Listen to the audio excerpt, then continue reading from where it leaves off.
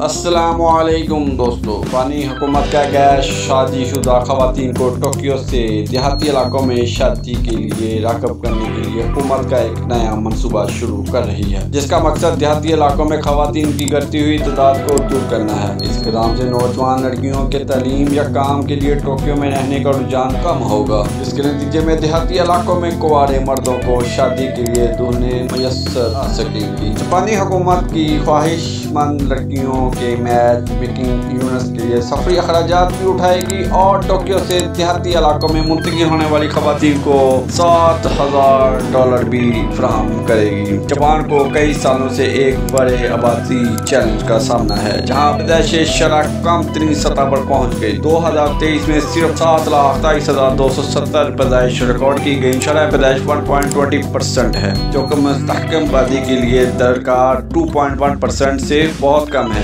गिरती हुई आबादी से निपटने के लिए जापानी हुकूमत ने मुख्तलिफ़ किस्म के इकदाम मुतारफ करवाए, जिनमें जोड़े बच्चे पैदा करना, बच्चों की देखभाल के लिए सहूलियात देना, शादी के लिए डेटिंग ऐप मुहैया करना और कुआरे लड़के लड़कियों को मिलाने में मदद करना। जापानी हुकूमत गिरती हुई शराब पैदाश को संगीन तरीन बुरहान करार दिया है। जापान हुकूमत चाहती है कि उनकी शराब पैदाइश टू पॉइंट वन परसेंट हो जाए। क्या इन इकदाम से जापानी हुकूमत कामयाब हो पाएगी। अगर वीडियो पसंद आई है तो उसको दोस्तों के साथ ज़रूर शेयर करें। ये थी आज की वीडियो। ऐसी मजीद वीडियोस के लिए देखते रहें चैनल को सब्सक्राइब कर दें। और अल्लाह के बाद